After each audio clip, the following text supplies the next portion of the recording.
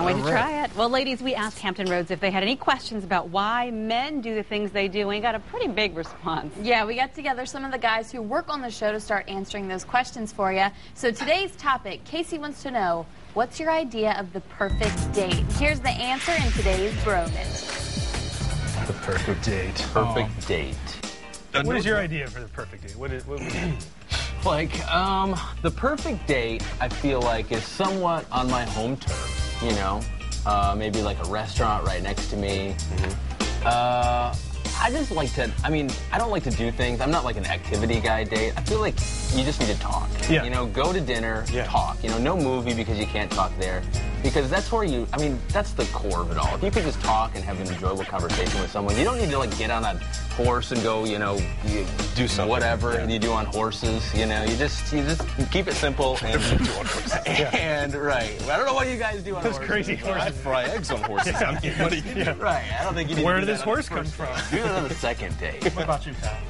Well, yeah, like first date, like I like to cook, but I'm not going to cook for somebody Right. on the first date because that could go into that, whoa, this guy is kind of creepy Right.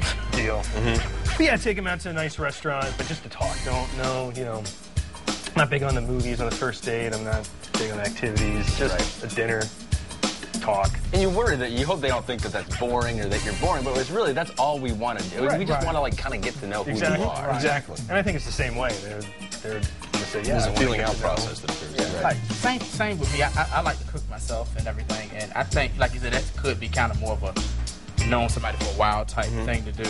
I like to do kind of like you know going to eat or else have do something fun together. Like you know, like I like to bowl. Hopefully that person like to bowl. We can go to bowling alley mm-hmm. and get an alley. You know, get get something where it's just me and her bowling, and we can sit there, joke, laugh, have fun. You know, pizza at the bowling alley.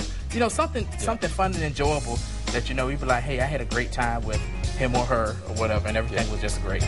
No, for me, I think it would be. I mean, we're all along, sort of along the same lines here. Just the ability to hold a conversation with someone for more than five minutes is huge, and if you're, you know, if you can do that, that's important. You can go out there and enjoy a meal and relax. And an ocean. I mean, say you go to the ocean front and sit on the boardwalk, you know, and just relax, and, and you don't feel like you have to say something every three seconds. You can just sit there and sort of be around someone. That would be the perfect date. And then do something with horses next. Yeah. Yes, of course. Or any other fun. that might be Or not. Wandering around. Or not. yeah, the, the perfect date is when that person can tolerate you long enough to finish the date. That's, Yeah. that's the perfect date. Yeah, when they're not calling their friend for the Really emergency like, evac Please phone God, call. he is. Woo! I need a phone call in five minutes. I'll Yes. walk back to the table, call me then. Oh my God, my mom's sick. I gotta go. That doesn't happen. We don't do that. No, would never. What do you think, Wheeler? Perfect date. Go. I plead the fifth. Plead the fifth. No, perfect Oh. first date. Yeah, as lo- long as there's one where you can talk. Sometimes movies, you know, you can't do that all the time. You got to be So he quiet. agrees with me. Man, I've never heard so many men be so into talking Yeah, with give women. me. Come on. Come But on. it stops after that first date. Apparently, right. That's like, wow, let's go ride a horse. Stop. Good face.